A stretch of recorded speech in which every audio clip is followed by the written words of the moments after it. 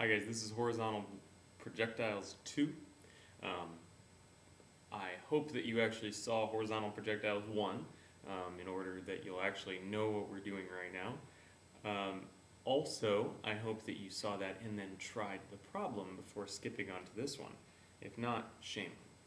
But one way or another, even if you weren't confident enough to do it on yourself, here we go. Um, we've got these variables for our setup. We said that the first thing we were going to do is try to solve for time. Okay, so I've got to pick an equation over here that I can get time, but I don't need final velocity. And the equation that I'm going to choose is this guy right here. Um, I'm going to change it just a little bit because I'm using the y-axis rather than the x-axis. So instead of having things like delta x, it's obviously going to become delta y. So step one, we write out our equation. Delta y equals V O Y T plus 1 half A Y T squared. Okay, that's going to give us our time. So the next thing that we need to do, we need to realize that we can plug in some information about this. First of all, we know that the initial velocity in the y is zero, so this term is going to cancel out. Second of all, we know that um, this variable right here, a, is going to represent negative g in this case. And so we can rewrite this as delta y equals negative 1 half gt squared.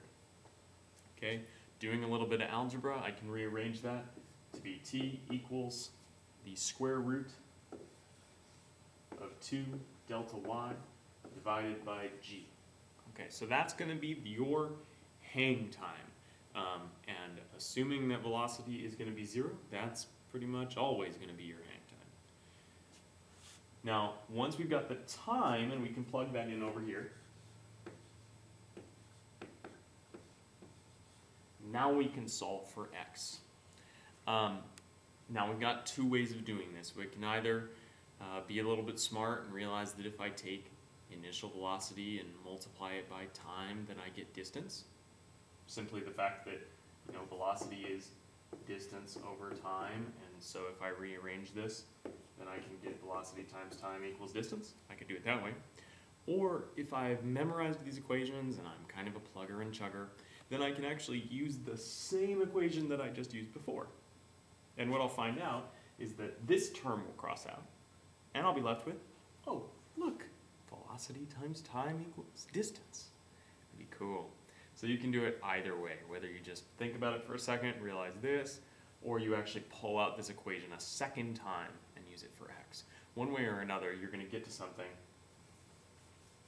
that says essentially delta x equals VOX times t. Now I'm going to plug in that for time. I'll get delta x equals VOX times the square root of 2 delta y divided by